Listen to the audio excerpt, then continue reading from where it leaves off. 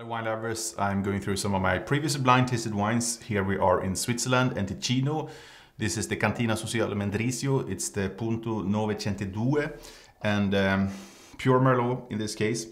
15, so warm ripe vintage, showing a nice purity here. Very discreet oak uh, on the nose, there's sweet ripe fruit, blending um, red and dark berries, as usual, these quite sweet plum notes, typical for the for the Merlot, uh, and a fine mild spiciness. Palate has a nice medium weight with a rounded texture.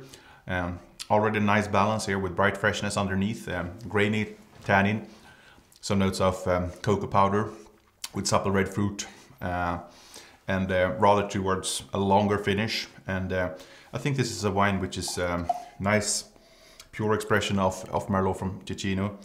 And um, this 2015 today is already settled and harmonious to, to enjoy.